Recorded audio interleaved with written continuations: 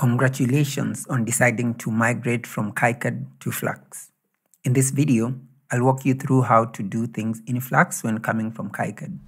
We'll start by comparing the tools and their design philosophy, how part libraries work, laying out your schematic, the use of AI, and finally talk about the PCB layout.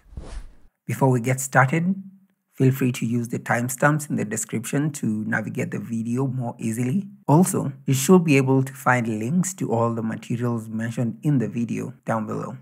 With that said, let's get started.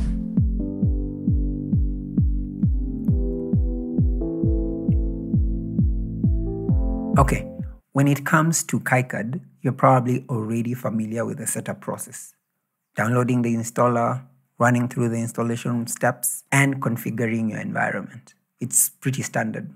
You get all these different tools that do different things, one for schematic, another one for PCB layout, symbols editor, and so on. Now, comparing that to Flux, Flux operate entirely in your browser. There's no need for downloads or installations. You just head over to flux.ai, create an account, and you're ready to start designing.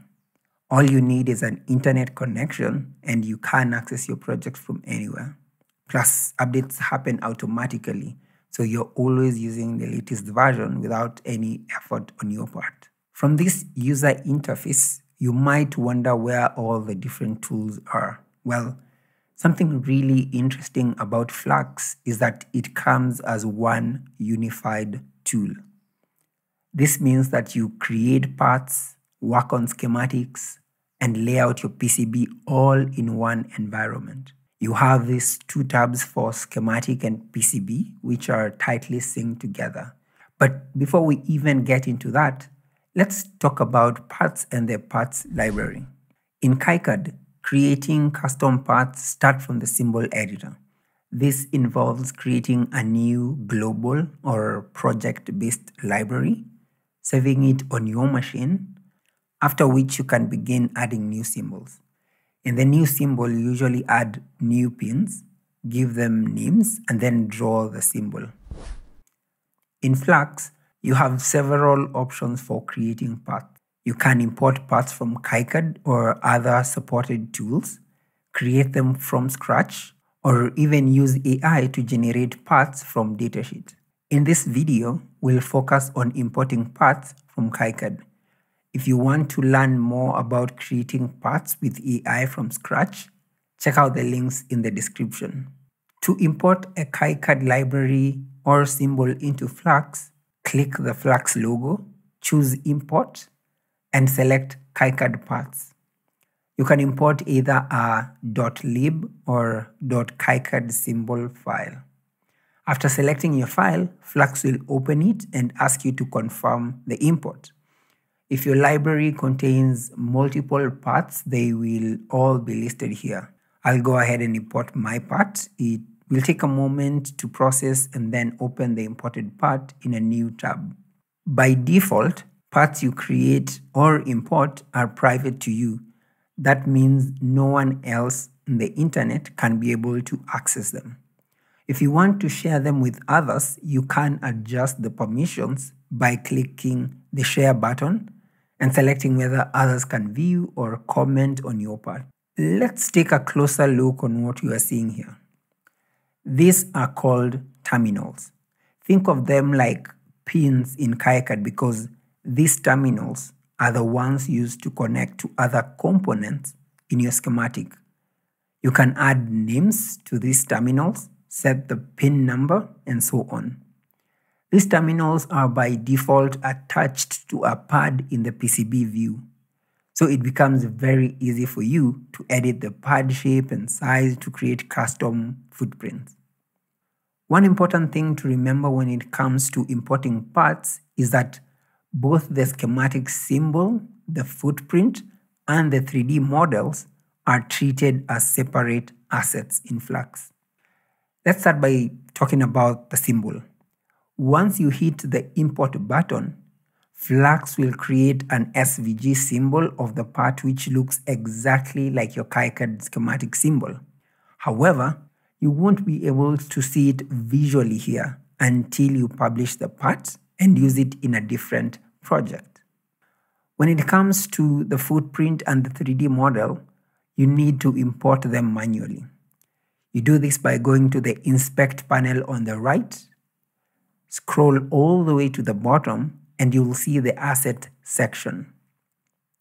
You can click it to see what's already there. To add more assets, you go to Manage, Add Item, and then find the footprint and the 3D model in your machine. Click Open, give them a second to be uploaded, and now I can change the ID to something more intuitive. And that's it. Click Done. You can now change from schematic to PCB. You'll see all the parts that are linked to the terminals we just looked at. Under the objects tree list, select the footprint object. On the right side, find the object specific rule, click Add, and then search for assets. Click Add to add it. Once it's added, click the box and select the ID name we gave to our asset and you should see the pads change to a correct representation of the footprint. To publish the part so that you can use it in other projects, go back to the Flux logo and click Publish to Library.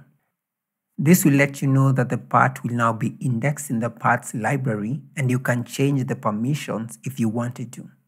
Click publish and the publishing will begin. It usually takes a few seconds and it will be ready for use. Let's now take a look at how you find parts and use them in your project. In KiCad, finding parts involves loading the symbol and footprint libraries. Here you search for a part you want to use across the global library and the project libraries. Once you find the one you want, you click OK and that's it. In Flux, it's a bit simpler. Your parts library is always available on the right side of the editor, so adding components is a bit quicker. This library contains all public parts that are available to you from other Flux users, as well as your private and public parts. You can search for a part, and there are filters to help you narrow down your search. Once you've found the part you need, just drag it onto your canvas and you're ready to start wiring. We've already seen that placing a component onto your canvas in Flux involves finding it in the parts library and then dragging it onto the canvas. We have the inspect panel on the right where you can find the project description, project properties, and other useful attributes that relate to the project. And selecting a part pulls information that relates to that part, like datasheet, part number, manufacturer, and so on. A particularly handy feature in Flux is live pricing. If you have a part number, Flux automatically fetches the latest prices from distributors, showing you availability and whether the part is still active or has reached its end of life. Connecting parts in Flux is very easy. Similar to KiCad, you click on a pin of one component to start the wire, move your cursor to the pin of another component that you want to connect and click again to place the end of the wire.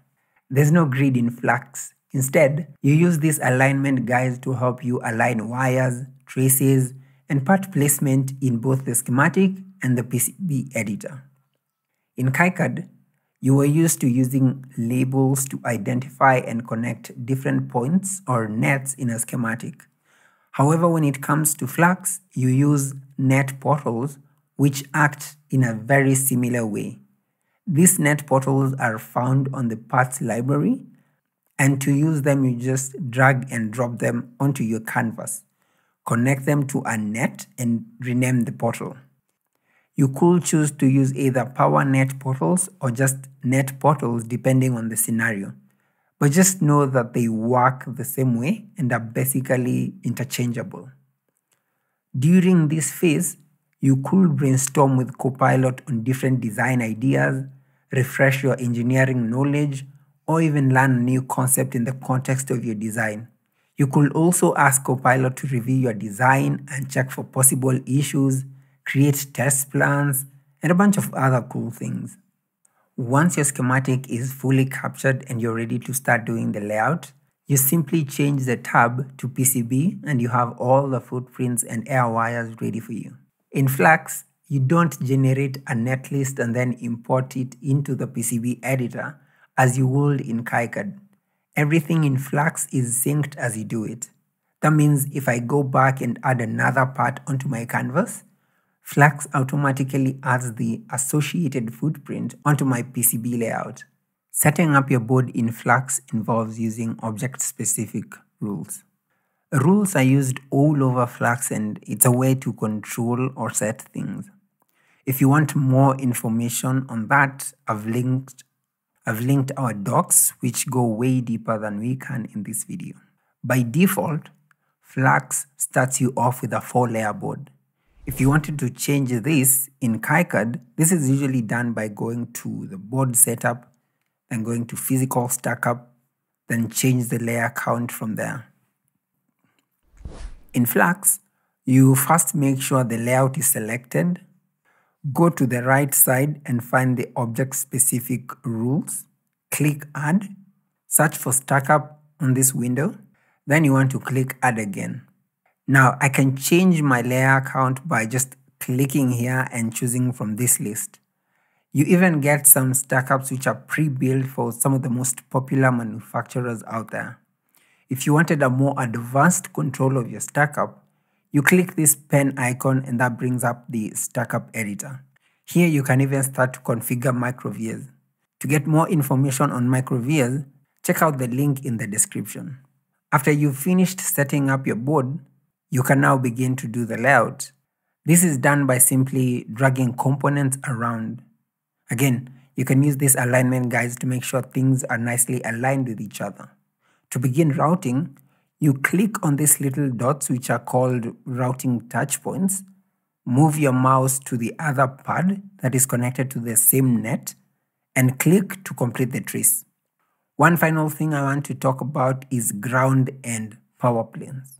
In Flux, as long as you have components connected to ground, you get this ground plane by default. Power planes, however, are not by default. You add them using object-specific rules. And I have linked some resources on the description to show you how to do just that. If you want to see a start to finish tutorial on how to design a PCB from scratch in Flux, check the video on the right. If you enjoy this content, make sure to give it a thumbs up and subscribe to the channel. Thanks for watching. Until next time.